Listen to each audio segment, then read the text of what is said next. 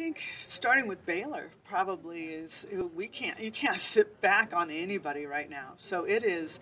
Um, I think this team having the experience of knowing the intensity of it, but knowing how to internally handle it, is uh, what is going to keep their balance and keep them focused. But Baylor is going to be another um, challenge that we've been through. That is not easy, and step up and keep going or, or not. So they know what's at stake in the first game. Everybody knows winning the first game is extremely important. So this team has their eyes on that.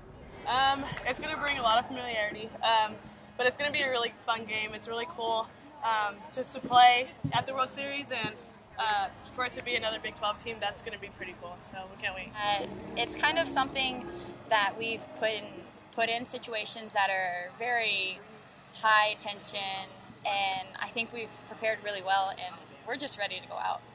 We're not a team that looks for cameras. We're not a team that wants attention. We just are the blue collar, put your head down with each other and get after it. And uh, they figured that out.